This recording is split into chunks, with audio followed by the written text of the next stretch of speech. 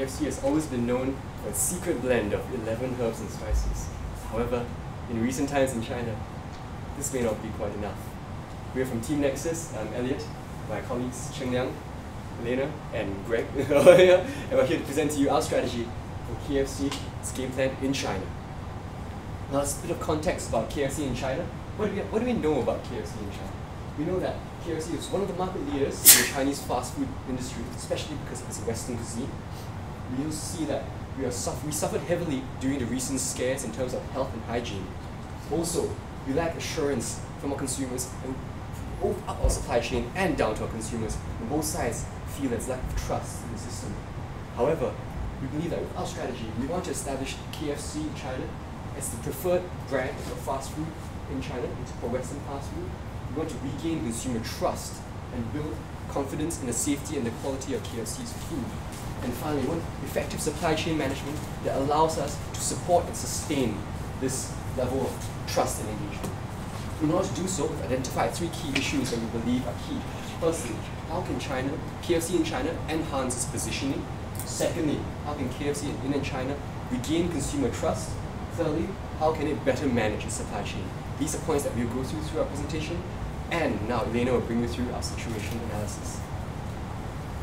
So KFC has always been known in China as the premium Western fast food brand. This was really what drew customers to their stores initially.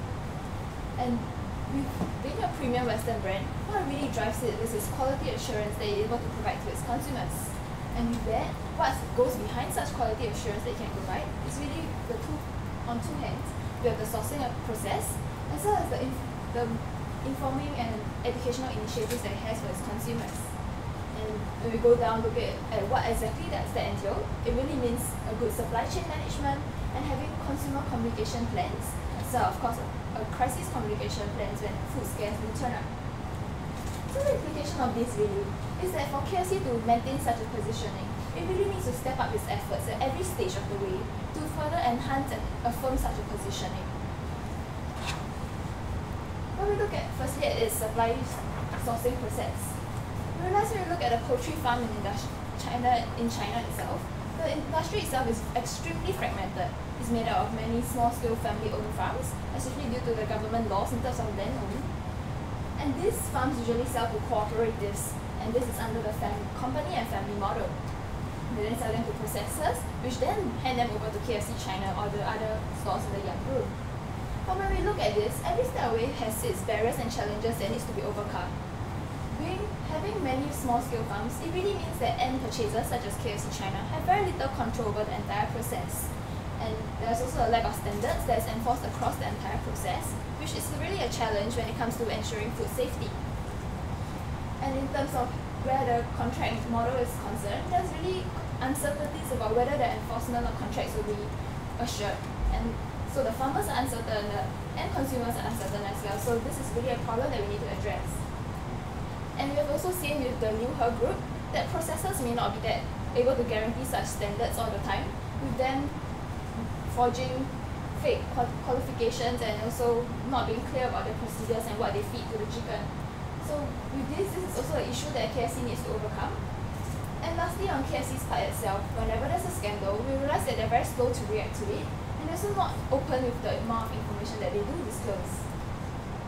But is that really all the, all the problems that KFC have to juggle? There are plus sides of KFC being the really big international group that it is in China. It has, definitely has supplier bargaining power that allows it control over the entire process, and it also has the knowledge of best global practices, as it has also have operations in many other countries, and of course in USA itself. So what KFC should really do here, given its strengths and the challenges challenges that it faces, it should leverage on its own strengths to take a more pro proactive role in managing the supply chain instead of leaving it to just the system itself. I would then look at, on the other hand, where the consumers are concerned about and look at whether KFC have been addressing such consumer concerns. So KFC has launched their own Operation Thunder plan, and which used to, in its attempt to try and assure consumers of food safety standards. And with that, we have its mini site, its TV advertisements, even its in-store displays, and a poultry contest. But yet, on the other hand, it realizes that it has achieved quite limited success with such a campaign. why is that so really? When we ask ourselves such questions and we analyze that what are the messages are being conveyed through their campaign, we realize that they have taken a very scientific approach in terms of trying to uh, tell how the percentage of food that they give and the percentage of antibiotics that they use. And really consumers, they're not very open to such scientific information because they just want to know whether the food is safe or not safe. And there's also a lack of consumer engagement because their messages are very one-way and passive. So consumers are just on the receiving end and really we don't know how much can we trust in terms of just being handed down information like that. So the implication here is really for KFC to change its campaign to adopt a more engaging and interactive approach to establish such an emotional connection and resonance with our consumers. And that really is the way to go if we want to convince our consumers of the food safety that KFC can provide. So today, us and Nexus, Team Nexus have come up with our KFC strategy for you. Firstly, knowing it all, knowing what our process entails and how we can offer to our consumers, forging trust in our consumers, as well as creating a more effective supply chain. How do we do that? Allow us to relook at the positioning of KFC. So we know that KFC, especially with its food scare, its market share has been eroded, and many competitors have taken the chance to enter the market. We have local competitors such as our Kung Catering, which are also moving to provide more nutritional food. We also have other other local offers where they are trying to produce more localized food for Chinese consumers, which may appeal to them more. And then on the other hand, we definitely have McDonald's and Burger King who are trying to make their entrance into the Chinese market. So with eroding market share, we realize it's really because the KFC's value proposition itself is eroding. And it's no longer sufficient for them to just be known as a premium Western brand. We find that our Chinese consumers are becoming much more discerning being premium, being Western is just not enough for them anymore. They really want to know more about the processes that goes behind, how the company manages itself, and the food safety standards as well. They're expecting much more. And that was actually why they first turned to local to global companies because they could not trust their local companies. And with the local companies catching up with their standards, this is definitely something that KFC cannot let go. And also there's now a lack of trust in foreign brands, so it's not enough to just merely be foreign So we propose here uh, enhanced positioning that KFC should take. Besides being just finger licking good, it should also be responsible and trusted. So that's how the positioning that KFC should take. How really should it go about enforcing trust and rebuilding con consumers' confidence? Allow Hua-Jie to bring us through it. Thank you, Elena. So now, given the very fragmented approach of KFC and how it has lost its consumers' confidence, now we're going to show you how we are going to forge once again, consumer trust in KFC. So taking a look at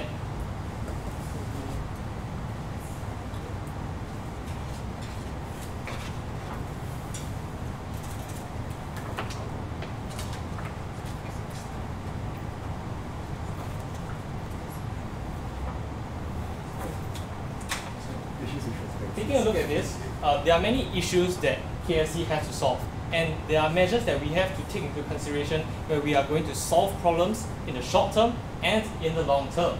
So in the short term, the solutions that we have to, uh, sorry, the problems that we have to come up, the solutions that we have to come up with is how are we going to communicate healthy and safe chickens that KFC has to its consumers.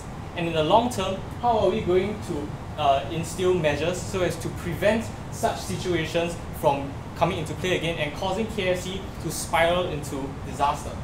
So using these two approaches, we believe that we will be able to regain, once again, consumer trust in KFC. So now how are we going to communicate, communicate to our consumers? Taking a look at our Operation Thunder, it has been met with limited success as mentioned by Elena earlier. So what this means is that we need to have an interactive approach where we communicate that uh, the, the health benefits, sorry, the how KFC is safe and sound to eat. And we've analyzed the Chinese consumer market and we've determined that gaming is very popular in China. And that is how we want to go into educating our consumers. So today we are very proud to present to you our very own um, developed mobile application. It's called Jishi. In, in English, this means chicken time. So what this mobile application does is actually a role-playing game, online role-playing game on mobile platforms, which allows consumers to uh, be an individual inside a game and they have to complete educational quests along the way. And these would help consumers learn about how the sources of chicken in KFC are ethically sourced. So if they are able to do this and get the quest, complete the quests, they will be rewarded with discounts which, which they can bring down to KFC and redeem these discounts.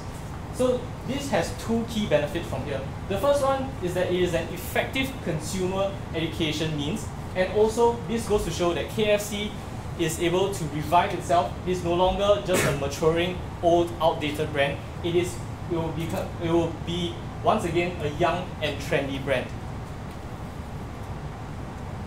So we also have to establish trust amongst our consumers. As of now, there is a lack of traceability in the sources that KFC gets its chickens. And as a result of that, consumers are wary of purchasing KFC products. So what this means is that we have to make the sources of KFC be more transparent. And how we are going to do that is through our consumer touchpoints as well as through our packaging. In our consumer touchpoints, we are going to build upon what has already been established in the Operation Thunder approach that KFC has adopted, which means that we are going to uh, enhance the information that is plastered all around KFC outlets. And at the same time, we're going to educate our employees so when they come into contact with the consumers, they can tell consumers safely that their food is ethically sourced and healthy. Also, we're going to take a look at how we're going to communicate this through packaging. One way is to, uh, you can write a random fact. So, for example, once you open up the box of KFC and you see a random fact about how KFC chickens are healthy, they are safe to eat. There's also a, uh, we also have to prevent future disasters from happening and taking a look at the instant chicken scandal that has bogged KFC down in the recent scandal, there is uh, the management has been slow and has unsatisfactory reactions to this scandal. What this means is that we need to have proper contingency measures when KFC meets these disasters once again. Therefore, we propose that KFC develops a crisis management center so as to preempt future obstacles, to develop responsive measures, and to limit the losses from future issues. So with that, we've shown you how we are going to once again rebuild consumer trust. So we will now show you, bring you forward and show you how we are going to create a better um, supply chain uh, management for KFC. Yes. In taking a look at supply chain of KFC, we notice several things. We first need to make a decision in order to establish traceability in our supply chain. How should KFC get chickens and where should they get it from? So we mapped it out and here we see that KFC could either import chickens, buy them locally, or set up its own farm and start producing them as they would a farmer. And in matching them up in terms of strategic fit, in terms of competency matching, in terms of macroeconomic issues, we've realized that the solution that KFC should adopt is to go with buy local, source local. Why, why did we come to this? Let's take a look here. In strategic fit, we realized that KFC has a very strong local sourcing. That's part of its DNA, especially in China. Also, we know that in terms of competency, KFC has high, high buying power and has high control over its internal logistics chain, especially in China. Perhaps even most importantly here, in terms of macroeconomic issues, we notice that in China, China imports very little meat. Also, its domestic consumption of meat is high. Thirdly, domestic production of meat is high. So what we find here, it's key insight, really is key, is that China is producing most of its own meat that it consumes.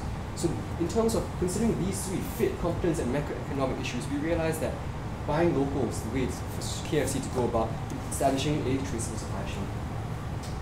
Now, in, after we have decided on where to get our chickens from, we, we noticed that existing processing suppliers are unreliable, and along the supply chain, such as Liuhe and Linhai, there are problems with fabricating data and failure to establish traceable quarantine qualifications and so on. Hence, we realized that the voluntary disclosure is problematic for KFC because these results which come to them do not necessarily match up with the truths on the ground. We realize the need to establish more oversight and control over the processes involved in the supply chain. In order to do so, we propose two things. Firstly, control and stability, and second, some monitoring and enforcement processes. First, let's take a look at control and stability. In control, we notice that in light of the processes, we are proposing obtaining equity stakes in processing firms to establish vertically up the supply chain. We believe that through capital investments, we will establish and create more control along the supply chain that allow us to have better understanding of where our products come from. Secondly, in terms of farmers, we notice the problem with farmers reneging on their contracts, and we see the importance of designing flexible pricing contracts that allows farmers to maintain their contracts and allows to keep the level of sourcing that we require. This contract non-performance, reducing non contract non-performance will allow us to have better processes across the supply chain for growth. Now we move on towards monitoring and enforcement. We notice that Yum's SAR audit is only held once a year. It's problematic. It's also a global policy that does not have the level of detail required by China. Hence, we believe that we can improve these processes through increasing the frequency through quarterly site visits, implementing centralized processes like standards checklists, which can be enforced across across different um, areas, as well as through post-inspection reports that allow for tracking and observance of where faults lie and where can be corrected. We also see price penalties in terms of failing to meet standards that KFC, as having the high buyer power, is able to establish along the supply chain. Now we've seen so many strategies here. Firstly, how to forge client relationships, how to build trust with the consumers. Secondly, how to make a supply chain more robust. Now let's talk about what impact this has on KFC and its organization. So our KFC strategy here will allow us to achieve positive revenue, revenue growth from 2015 onwards. And as you can see here, uh, if we have more optimistic scenarios, for example, if the uh, private consumption growth rate in China is a lot more optimistic than we thought, then we can achieve uh, up to a 12% growth rate by 2018. However, of course, we also have the flip side where we have pessimistic scenarios. In that case, we see us achieving uh, positive growth rate much later, about 2017. So, uh, when we come up with these assumptions, we, uh, with, these projections, we base it upon several cost assumptions. So, uh, for example, as you can see here, the traceability system development here, we, we foresee that taking up about 6% of profit margins. And also process research for, for our no part of our strategy, we also take about 1% of our profit margins. And uh, important note here is that the acquisition of processes, as mentioned earlier, will be funded by, by, the young parent group, uh, uh, by the Yum parent group. So, how, how do we exactly come about with the scenario for a pessimistic outlook? In this case, we're talking about the risks, uh, the risks that we've considered uh, based on our strategy. So for example, if stockholders are worried about prospects, then the stock price could fall further. Now, stockholders could be worried because they'll be asking, why are we incurring so much expenditure during a time when revenue growth is, is, is actually negative? So in that, in that sense, we have to facilitate clear communication to explain to them why, why we are doing this. It, it, it, it, well, to, to summarize this, we are actually taking in short-term pain for long-term recovery. So it's important for us to take on these expenditures to have a sustained, uh, longer recovery for, K, for KFC. Uh, another factor to consider here would be, for example, how, if, if, market prices of raw chicken fluctuates. And this will affect us because of the floating uh, price contracts that we are now engaging with our processors. In this case, we can choose to enter a long-term contract with suppliers so we can lock in certain prices, or we can just simply absorb this higher cost in exchange for the high stability these processes are giving us. So now that we've considered the risks involved in this strategy, we have to consider how are we going to implement this timeline here. So there are a few a few things that uh, that, that should be highlighted from this timeline. The first thing is that as you can see here, we have several activities that, be, that can be executed immediately. So for example, the development of the Chicken Time app or the market analysis uh, part of, of our strategy can be executed immediately. And this is important because we need to tell our stockholders that we are doing something about the problem. Next, we can see as, as the activities are spread out across time, uh, this gives us another two more advantages. Firstly, firstly, uh, it, it, ensures that there is no one point in time where we are too uh, we are, where our activities are too financially taxing on the company. And secondly, by having activities spread out across time, we can constantly update our stakeholders on the various things that we're, that we're currently doing. So at the start of this presentation, we talked about KFC's problems in terms, of, in terms of its public image, as well as its need for a better supply chain. So based on our KFC strategy, when we first know about the needs for transparency, we forge trust with our customers, and then we create a safer and more stable supply chain. We can help ensure that KFC uh, regains its competitiveness and becomes finger licking good again. Thank you. Thank you, students. From the, the There's now 15 minutes of time for question and answers between the judges and the students. Thank you so Ladies much. first. Uh, thank you, Team Nexus. That was uh, very well put together and um, well presented, so, so well done. Um, I have uh, a couple of questions. One was um, perhaps to Eleanor um, with regards to uh, combining two concepts. One is about being respected and trusted, and the other is finger licking good. So you've got fun and you've got compliance, and you're blending those two ideas together. So um, I can see the fun with the app, and I can see the compliance with the um, all the JV stuff and the vertical integration. So that's good too, and the increased compliance monitoring. How do you, how do you do you tend to bring those two together, those two ideas, because they're quite different ideas, yeah? Coming from where there one is more serious tone and one is more fun tone. I really think it works to KFC advantage if they are able to successfully integrate these two ideas together. Mm-hmm. Like take a look for example at the Starbucks company. They have a very fun and lively image and there are many different campaigns that appeal a lot to youth. But at the same time they're also very big on responsible and social sourcing as well as fair trade. Mm-hmm. So this is really an example of how these two concepts can really coexist and really come together to create synergies for the company itself.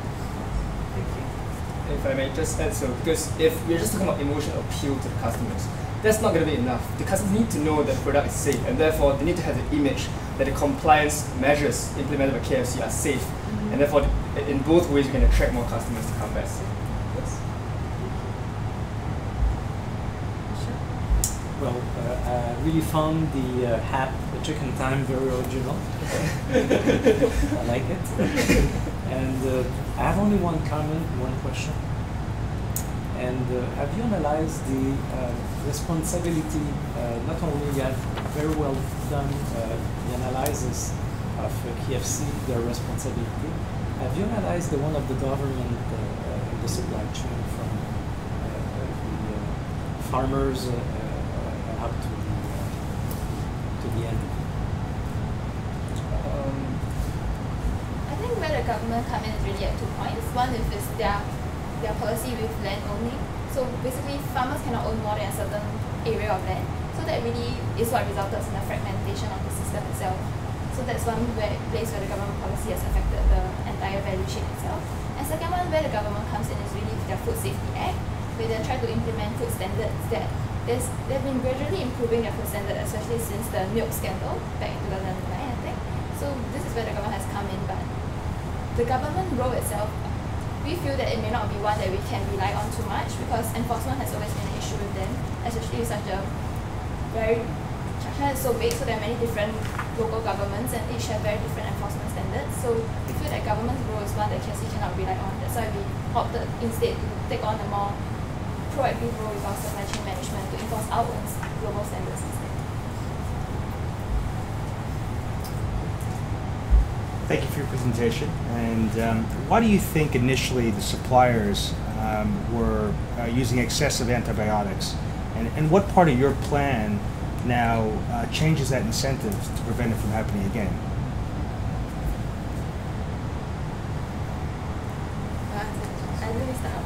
I think the reason why suppliers been using a lot of antibiotics because farming conditions haven't been that great in especially the small locally owned farms. And that's why suppliers are pumping in a lot of antibiotics to prevent chickens from falling ill or from dying prematurely so that they have a higher yield from the farms. But with how our system is question. So I believe with because of the fragmentation of the farms, especially because they're so smallholder farms, so each farmer is very individualistic and I'm gonna I'm just gonna make sure that my, I can sell my products and quickly get them out. So these antibiotics help the farmers in that sense. So we believe that through having these longer term contracts and through establishing um, further reaching vertical supply chains, we're able to give more confidence to the to this to farmers as well, um, in a way that we're able to kind of smoothen it out and um, allow for um, perhaps less less injunctions in terms of um, health concerns and such as antibiotics, especially because we especially because we provide um, that form of consistency, knowing that we're to we have this flexible pricing contract, and we believe that this will address the needs of the um, farmers. So, so you think if just by giving them more certainty that you're going to pay them more money, that the incentive to lie or to use more antibiotics or uh, not improve the conditions is going to go away? I believe uh, that's not true, which is why we also have this. Um, which is why um, we do have to integrate the um, enforcement and monitoring aspects as well in terms of um, finding out what is happening on the ground, um, as opposed to just expecting it to um, perform and to because the in terms of report self-reporting, there's always the tendency um, for to fudge the books, and hence we, we see the necessity of sending our own teams to inspect and to see um, where our suppliers are in terms I of. I saw some penalty payments if you don't make compliance, is that right? Mm. So in terms of in terms of penalty plan, that's correct. Um, we will see price penalties being put in place as well, which will allow us to have some form of control over our suppliers. Thank you. I have another question for you. Um, looking at your plan, your implementation plan, um, again, you're opening with your development of the app, which is lots of fun and it's really great, and it's core to your building up, uh, regaining trust with the customer. Um, I'm just wondering what your consideration is to being able to del- deliver on that promise. So, um, if your quality assurance or supply chain elements are not there in time, possibly you could start to build a trust that you, you can't meet. So, would you consider changing the plan um, to resequence that? What are your thoughts? I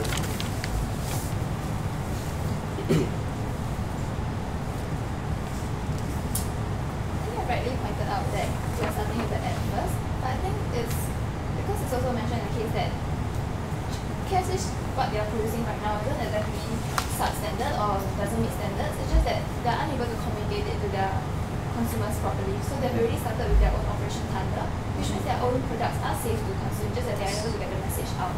But for us, beyond just doing that, we also want to take a look at how we're going to change our supply chain system because while our food may be safe now, it may not be in the future as farmers come up with more ways and tricks to boost their yield in a very artificial way. So that's why we have chosen to come out with an app first because we realize that crisis communication now is really key for them because they need to regain customers' trust right now before they can start having the revenue as well as the means to do anything else. Thank you very much.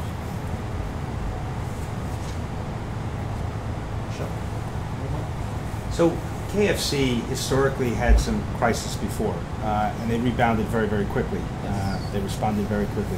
What do you think was different this time? Why did they delay? Why did they hide the, the results for a period of time be, besi- before responding?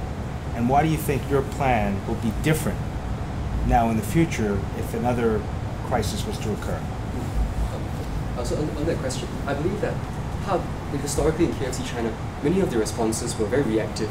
So they wait for pressure to build in terms of, can you please report this? You know what's going on? I want to know something, and then they report. Um, partially also because of the voluntary aspect of the reporting and the laws that do not require you to, to you know publish your test results and so forth. And so I think what, what we're trying to say here is that we're adopting a more proactive approach towards towards um, reaching out to consumers and telling them the truth. Not just the truth, but telling them what we're doing. So we're having that transparency and that communication channels, and we believe um, we'll be able to um, kind of circumvent, uh, prevent in fact the problems that happened before by being more proactive towards reaching out to consumers. I think at the same time, uh, we also have developed, we have also proposed to have a crisis management center so that if in the case such a situation arises again, they will be able to react accordingly and give a more prompt reaction to the public. Because as of now, as you mentioned, uh, KFC has taken a delayed approach when they have uh, responded to the public and that has tainted their image. So our crisis management center is going to give them a more immediate reaction because all of the all have, the crisis management center would preempt some kind of uh, situation that might arise and they will have a means of reacting to that and having an appropriate kind of answer to the public. Question. Um, the first is uh, it's for the analytics. So you've called out that you're going to make a significant investment with the crisis centre and other elements, and that is reflected in your numbers. So that's that makes sense to me. My question for you is that how long do you think it will take from today until when you'll have that app crisis set? You know, what, what is your timeline for, for getting there, and have you included the cost of that time in your plan? So uh, as you can see from this information timeline, we've kind of staggered our various activities across uh, our five-year plan. And we chose a five-year plan because sometimes it- it's a bit hard to foresee anything goes beyond five years.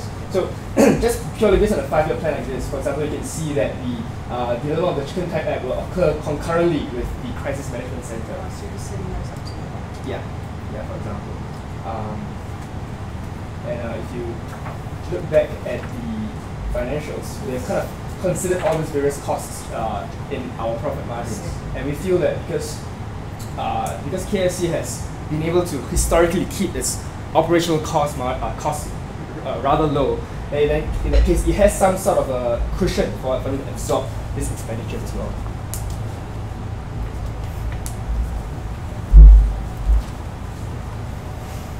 There's still some time for more questions, so if you have. Um, the app is great. Um, for customers that go to KFC that don't have a phone, what is your strategy for them? so they get some fun facts in their box of In the boxes, yeah. they, they get a free phone. Unfortunately, didn't pay the rental cost. Yeah, so I think as you've mentioned, for customers who don't have sorry, customers who don't have phones, there's uh, the application will not be applicable to them. But there are other ways that we propose how we're going to reach out to them through our consumer touchpoints as well as our packaging. So we hope that through these two um, means, we also be able to reach out to consumers who do not have access to smartphones. So just on that point, so the consumer who used to eat at KFC that no longer goes, how are you how are you reaching that person? They're not coming in buying the box to see the flap. So how, how are you how are you getting them back into the uh, to the locations? I think given that, then of course we did manage to include that, but we have to consider other traditional forms of communication that can, for example, reach out to the older population. But I think the main point that we're supposed to we are trying to drive across is that we cannot just be very scientific and direct about our communication, but have to be adopt a more emotional and interactive kind of stance in our communication. So likewise, when we do adopt traditional means such as TV advertisements, these are the same elements that we want to include into our advertisements as well.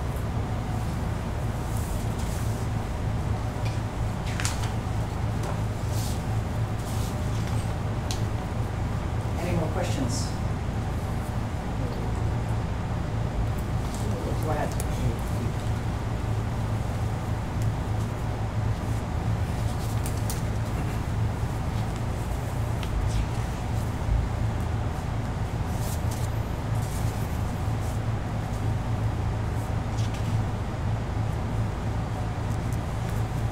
When um, when you look at your suppliers and you're going to do some monitoring uh, on their activities, whi which part of that do you think is the most important? I think um, so. The monitoring process be several stages. So we'll be looking at identifying our key, key, um, the key suppliers that we wish to look at, and then after doing so, I think the, the most important part will be to essentially compare um, what they are reporting and what we are, what they are reporting and what we see in the ground. So I think having that groundwork is also um, quite key because um, that's where we send our people to observe and to see that the facts match up. Because uh, the key issue with our reporting is that it's usually untestable to see if it's true or false. And so I believe that sending having that groundwork is um, key to um, solving the issue of monitoring. And, and how frequently, uh, you talked about the annual, and I think you want to do more frequently, but how, how frequently is that, and what is feasible? What is possible, Mm. given the fact that these are local farms, they're spread out all over? Um, how many more people do you need to hire? How many more people do you need to train? Mm. Is it really uh, you know, possible to do that type of Mm. monitoring? So I think when we talk about monitoring as well, the level of monitoring that we're able to achieve particularly well will be at the processor level, especially because these are more consolidated. As we move towards the farms, we have to do more of a spot approach, um, as opposed to a consistent every 4,000 farms we're going to go and visit each and one of them. So I see we see this uh, kind of staggering to the intensity in terms of the processor level, and then kind of tapering down and doing spot checks more to the farm level, individual farm levels. But what about educating the farmers? So who, who is going to do that? Because ultimately, you, know, you need to get them up to standards that you're putting in place. So I think um, what we're talking about as well. So together with our checklist, we're proposing that the reports are published after as well. So as part of these reports, we believe that the information can be shared with the farmers on the ground as well. So these reports that we propose are not solely for our documentation purposes, but to share the farmers and how to improve best practices based on findings from across um, the, across the different monitoring spots that have been done. So we see knowledge sharing being done in this manner. Post-inspection report. Mm-hmm. All right, that concludes the question and answer session. Thank you, students Great. from the National Thank University of. Singapore. Thank you. There you go.